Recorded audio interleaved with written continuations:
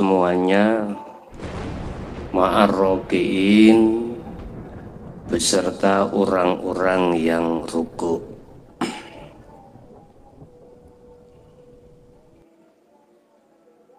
Bapak Ibu hadirin jamaah rahimakumullah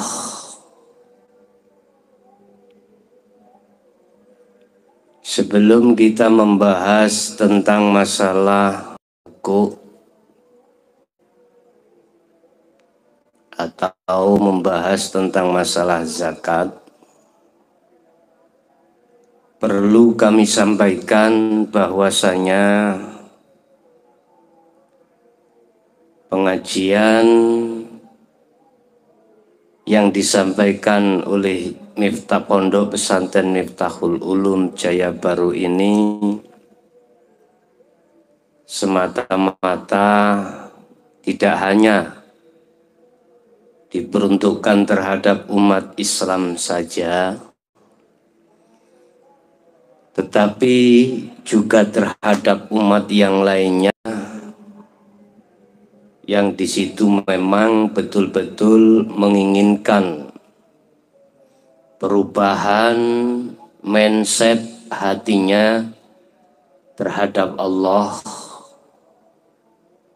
mindset hatinya yang tadinya berpola pikir hanya diperuntukkan terhadap urusan dunia selanjutnya diubah, diperuntukkan hati untuk menuju ke Tuhan yang Maha Esa. Bapak Ibu, bagaimana pandangan secara hakikat tentang masalah zakat? Ini tidak sama dengan apa pandangan zakat secara syariah yang perlu kami garis bawahi sehingga janganlah Anda bersalah paham atau gagal kefahaman. Secara syariat memang mengeluarkan berbentuk fisik harta benda. Zakat di dalam syariat terbagi menjadi beberapa poin. Ada zakat fitrah, ada zakat khol, ada zakat mal, dan lain sebagainya. Cuman kalau kita melirik dan melihat dari sisi hakikat, zakat itu dikeluarkan wajib hukumnya yaitu mulai kita belum mengenal Allah. Tiap saat dan waktu kita telah merampas pakaiannya Allah. Kita menghai semua apa yang menjadi sifat wajibnya Allah. Seperti contoh wujud, kita merasa diri kita wujud hamba. Kita merasa diri kita yang berperan hamba. Bapak Ibu, ini kalau saya jelaskan satu persatu tentang apa yang harus dizakatkan itu sangatlah luas. tetapi poinnya adalah mengeluarkan apa yang ada di dalam hati kita yang tadinya yang menjadi sifat wajibnya Allah kita keluarkan dari diri hamba dan kita tetapkan sifat hakikat hamba terhadap hamba dan sifat hakikatnya Allah terhadap Allah itu sendiri. Kalau sifat wajibnya Allah iku wujud, Berarti sifat mohalnya wujud adalah Adam. Tidak ada. Wujud itu ada, lawan katanya tidak ada. Lah tidak ada itulah yang menjadi sifat wajibnya kita sebagai hamba. Kuat, kudrot, itu menjadi sifat wajibnya Allah. Lawannya kudrat adalah lemah dan lemah itu adalah sifat wajib kita sebagai hamba. Bapak Ibu, untuk mengeluarkan sifat itu bentuk hakikatnya zakat. Dalam bahasa syariat asbabun nuzul diwajibnya diwajibkannya zakat itu karena di dalam harta itu ada beberapa harta yang bukan milik kita dan itu miliknya delapan bagian di antaranya fakir miskin dan lain sebagainya.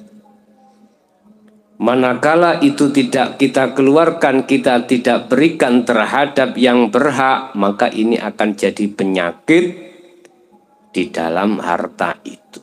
Makanya bahasa syariat wajib itu dikeluarkan. Maksud hakikatnya adalah sifat wajibnya Allah yang kita rampas itu wajib kita keluarkan dari hati sebagai hamba. Mengapa itu terjadi? Karena hawa nafsu awalnya itu gitu. Allah mengizinkan hawa nafsu untuk liab luwakum ayyukum ahsanu amala menguji dirimu tentang masalah kesetiaanmu terhadap Allah Subhanahu wa taala.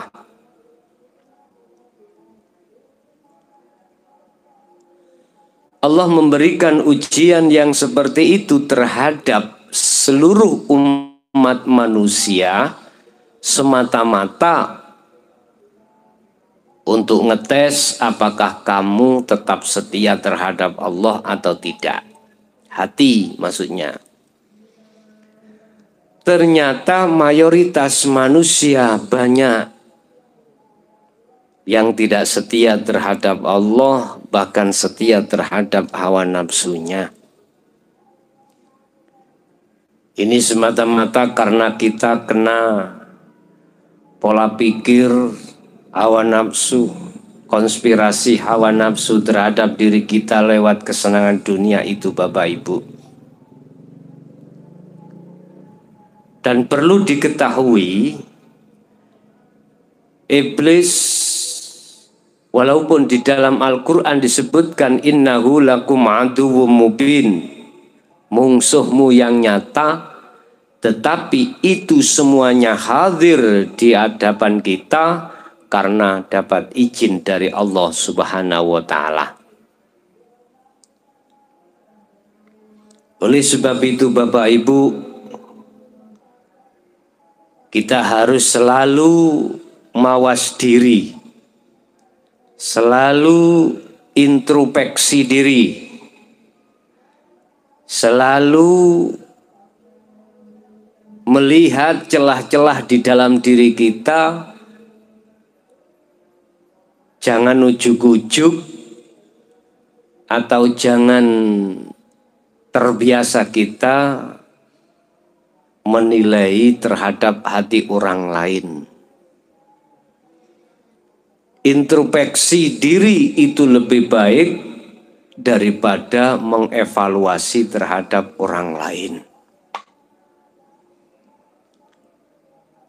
Oleh sebab itu, kami mengajarkan tentang masalah etika akhlak ilahiyah terhadap umat ini tidak semata-mata untuk dijadikan sebagai gagah-gagahan. pinter-pinteran, hebat-hebatan, tidak. Semata-mata untuk yang pertama menyadari, mawas diri terhadap hati kita masing-masing terkait kesetiaan kita terhadap Allah Subhanahu wa taala. Semakin tinggi derajat hati seorang terhadap Allah, maka semakin banyak Allah memberikan ujian-ujian. Itu secara otomatis. Jangan dikira Allah ketika mengangkat derajat hati seorang mukmin terhadap dirinya, itu tidak melalui beberapa ujian yang berat. Tidak. Semuanya itu sudah menjadi hukum bahwasanya meningkatkan meningkatnya satu ketakwaan pada Allah itu terlebih dahulu harus melewati ujian, cobaan-cobaan yang miturut Allah itu tidak akan diberikan lebih dari kemampuan masing-masing. Bapak Ibu, kita kembali kepada bab zakat. Jadi apa yang kita akui dalam hati apa pun ya, itu harus kita lepaskan. Sehingga di dalam ajaran hakikat menuju makrifat ada istilah tiga hal. Pertama adalah taholi. Kedua adalah tahali. Ketiga adalah tajalli. Apa taholi itu? Taholi adalah hati seseorang yang masih memegang sifat wajibnya Allah masih mengakui bahwasanya makhluk atau hamba ini yang berperan. Contoh pada diri saya waktu bertausiah seperti ini.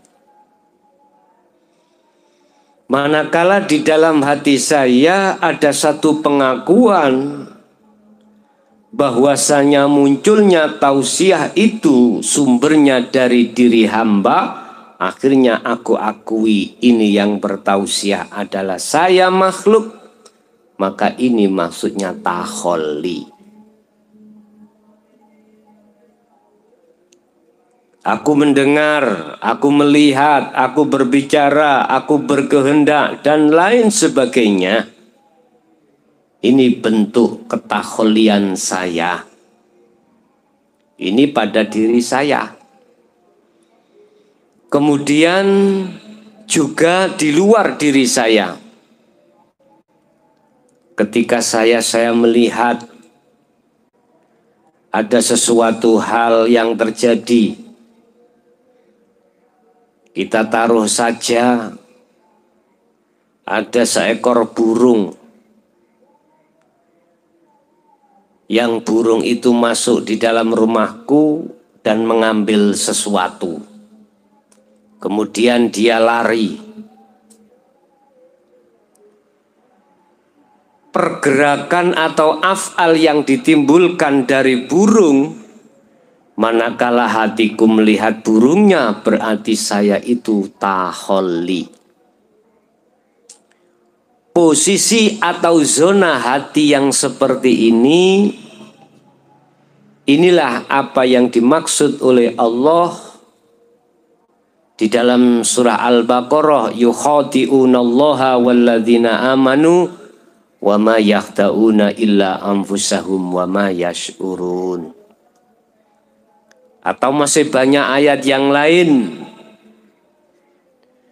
yang intinya saya masih berbuat dolim, berbuat keji terhadap Allah. Atau perbuatan yang melampaui, melampaui batas. Ini taholi. Resiko manakala hatiku duduk di taholi, maka saya akan susah gelisah manakala Allah memberikan satu ujian cobaan yang opti yang gak enak. Itu pasti Bapak Ibu dan manakala saya dihadapkan satu takdir yang sifatnya itu pasti atau enak, maka di situ hatiku bersenang-senang terhadapnya dan pasti melalaikan terhadap Allah. Ini pasti. Bapak Ibu, Islam mengajarkan tidak seperti ini. Aku yakin agama seluruhnya itu mengajarkan hati supaya pindah dari takholi untuk melepaskan cuman saja kita sebagai umat yang tidak pandai-pandai memperhatikan atas firman-firman Tuhan atas firman-firman Allah Subhanahu wa taala Itu semuanya dikarenakan hati kita senantiasa bergelut, bersenang-senang dengan hawa nafsu. Ingat,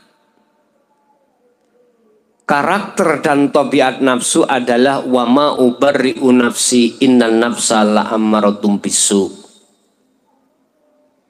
Yang namanya nafsu itu tidak henti-hentinya mengajak dirimu, hatimu untuk berbuat jahat terhadap Allah dengan bentuk kita selalu duduk di taholi. Terus tingkatan yang kedua adalah tahali. Tahali adalah proses pembersihan atas keakuan dalam hati diri hamba atau makhluk. Ini proses. Dan proses pensucian hati ini wajib hukumnya bagi seluruh umat manusia, khususnya umat Islam. Sehingga ini tertuang di dalam salah satu ayat Ya ayyuhalladzina amanu taqullaha haqqa tuqatih wala tamutunna illa wa antum muslimun. Jelas.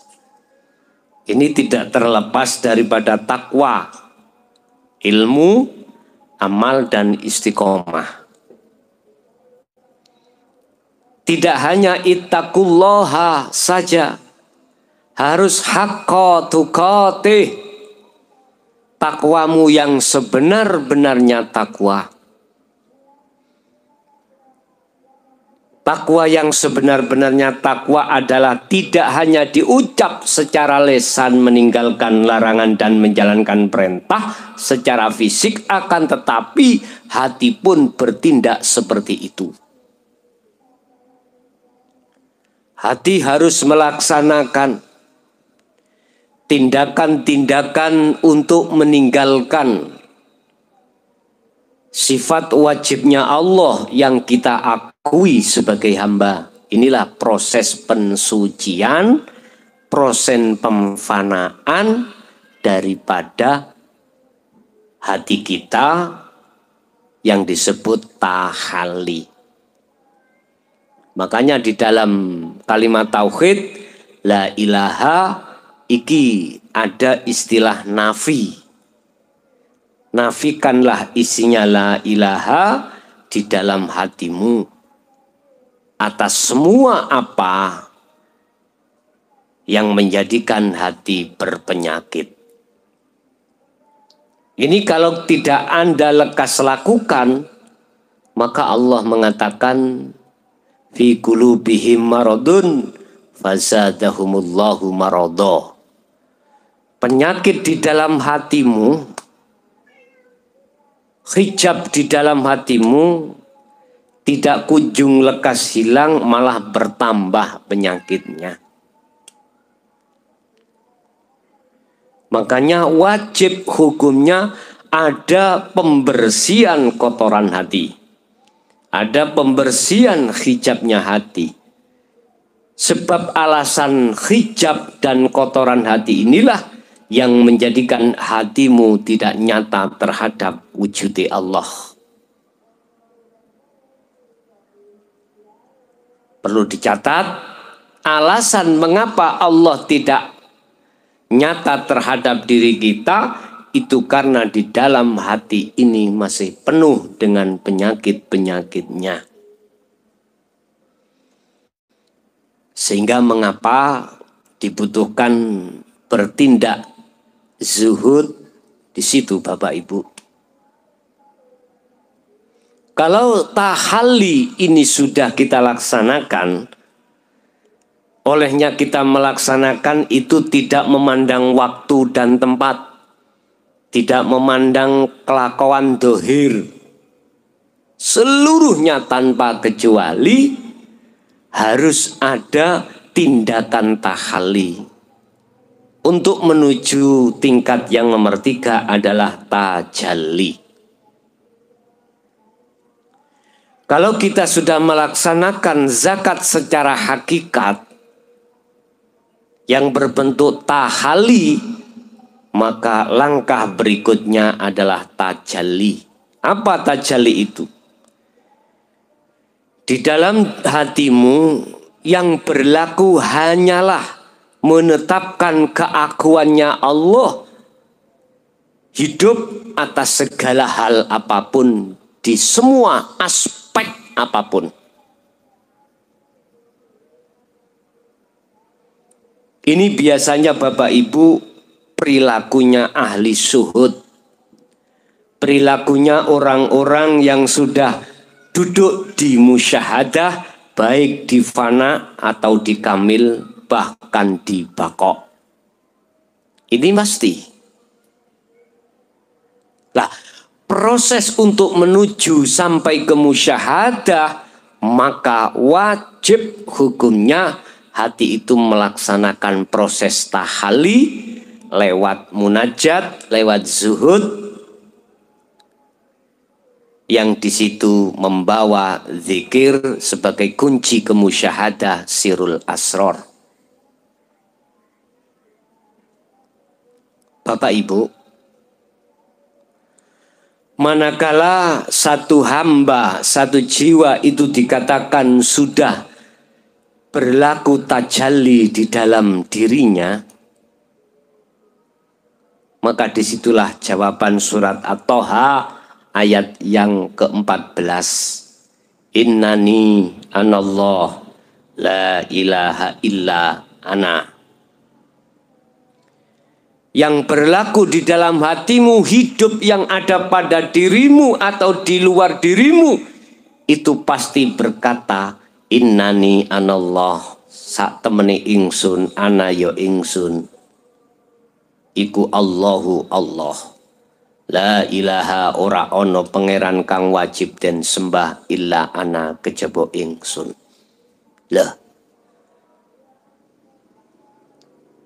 Ini makom-makom makrifat menyang Allah terhadap Allah. Inilah letak kesempurnaan dalam satu keislaman satu hamba. Makanya Allah mengatakan udhulu fisil mikafah. Masuklah kamu di dalam agama Islam dengan sempurna. Artinya sempurna sudah sampai tingkatan makrifat pada Allah sekalipun itu masih di dalam fana. Musyahadatul fana Dan ini akan meningkat ke musyahadatul kamil atau fanaul fana bahkan sampai ke bakok yang namanya zuhud itu harus kita lakukan terus menerus tanpa henti, tanpa memandang waktu, tanpa memandang perilaku, tanpa memandang tempat. Harus ini dilaksanakan. Wa musolah tadi kemarin sudah kami jelaskan tentang sholat dari pandangan hakikat. Kemudian wa'atu zakah.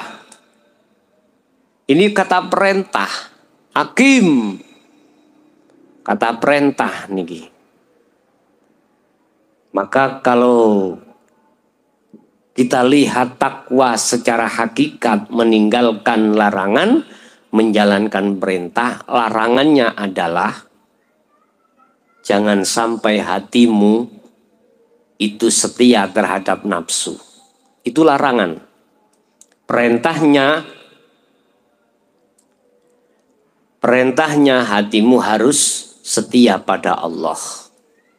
Anikutullaha wajtanibut tauhid. Bapak Ibu, Wa'atu zakah ini juga perintah. Keluarkanlah zakat artinya lakukan hatimu bentuk tahali yaitu zuhud. Wa'atu zakah warka'u dan ruku osiro tunduk no hatimu menyang Allah. Ma'arrokiin berserta orang-orang yang selalu menundukkan hatinya pada Allah. Siapa? Rokiin ini adalah orang-orang yang hatinya sudah mencapai tingkatan makrifat pada Allah. Secara hakikat bukan yang dimaksud rokiin itu adalah rukuk secara syar'i fisik, bukan. Kalau memang secara syariat memang ya. Berarti orang yang rukuk, orang yang selalu menjaga nilai daripada sholat baik wajib, sunnah, dan lain sebagainya. Tetapi rokiin ini adalah orang-orang yang hatinya selalu tunduk patuh sendiko dawuh terhadap Allahnya. Dan mereka berlaku ini tidak hanya di dalam rukuk secara syar'i, tetapi juga terhadap aktivitas di luar rukuk secara syar'i waktu kerja, waktu apa pun istirahat, waktu apa pun hatinya selalu tunduk.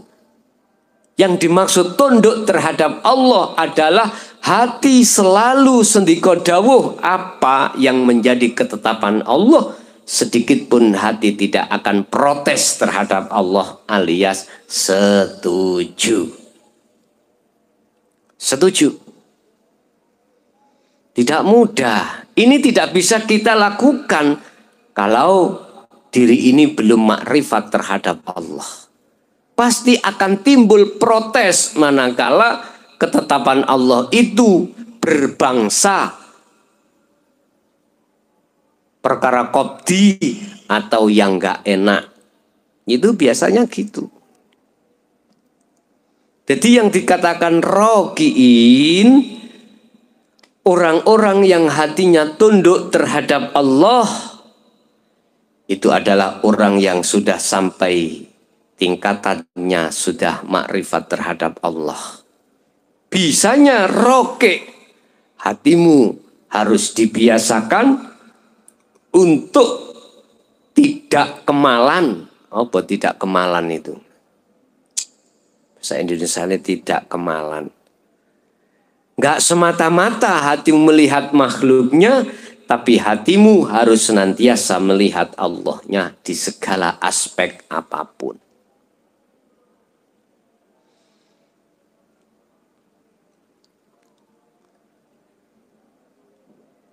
Bapak Ibu hadirin jamaah rahimakumullah.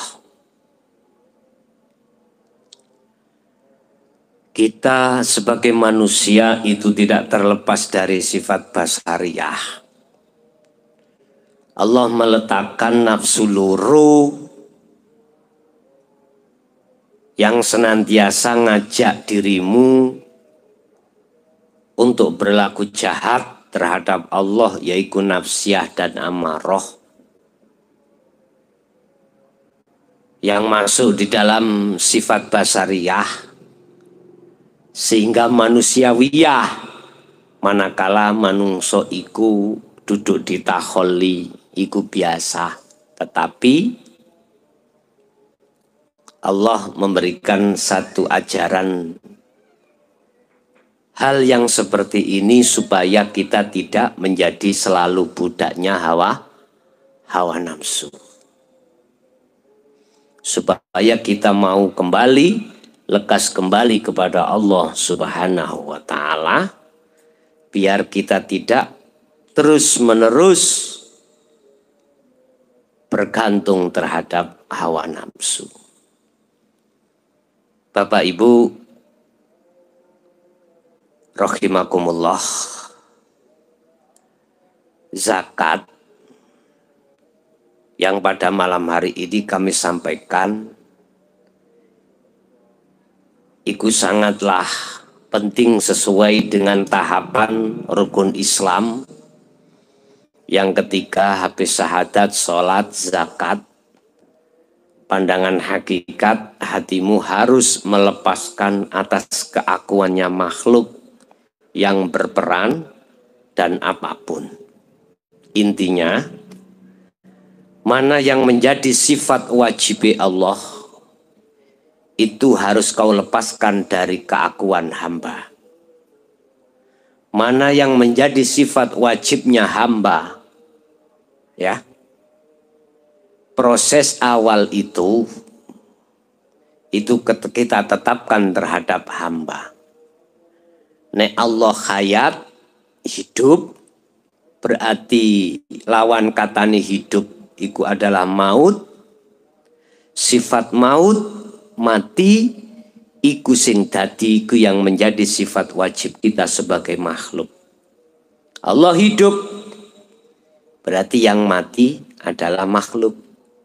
Allah wujud berarti makhluk itu tidak wujud. Itu nanti pemahaman sifat wajib bagi Allah akan kami jelaskan secara komplit di bab yang akan datang. Kita masih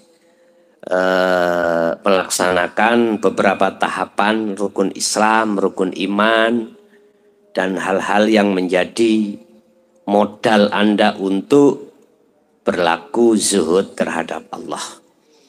Bapak Ibu hadirin jamaah rahimakumullah. Bagi panjenengan Anda yang mungkin tadi belum sempat mengikuti mulai awal